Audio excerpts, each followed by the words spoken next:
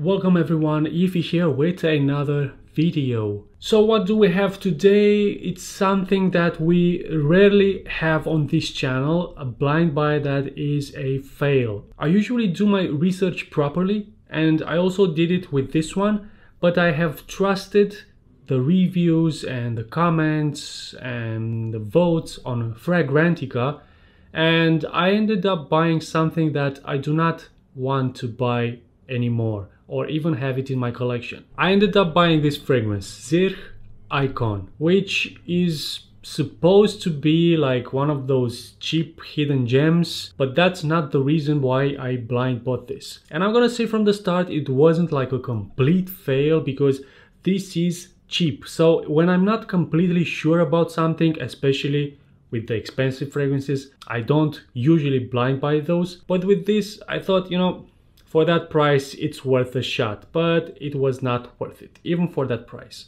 So on Fragrantica, people say that this fragrance, Zirh Ikon, smells similar to John Varvatos Dark Rebel, which is an awesome designer fragrance with niche quality, now rare to find. And I thought, you know, I'll save this for, you know, special moment. I'll save it like a collector fragrance and I'm gonna spray myself with this one and I wasn't expecting it to be like, you know, a clone.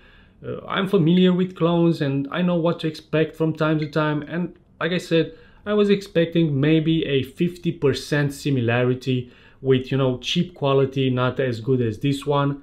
But, you know, I would say that this is not even 7% similar. What this is, is one of those cheap smelling fragrances. It has a cheap generic and dated smell. If you have smelled some good fragrances, you'll notice that this one doesn't smell good. You know, it could be like a good scent for someone who gets now into fragrances and you know, he just wants to spray something on himself. This is supposed to have incense, it's supposed to have some interesting notes which don't really pop up. This is just a generic smell and doesn't have any complexity. So can you really trust people, the reviews or the votes on Fragrantica?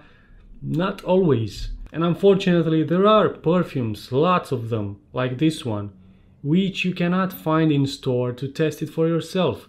So you have to blind buy it. So yeah guys, final conclusion, Zirh Ikon, I do not recommend it. The only good thing about this is that it comes in a 125 ml size. And that was it guys. Until the next video, watch out for these blind buys. You might get one of these. And what else? There was something else. Oh yeah, keep smelling great.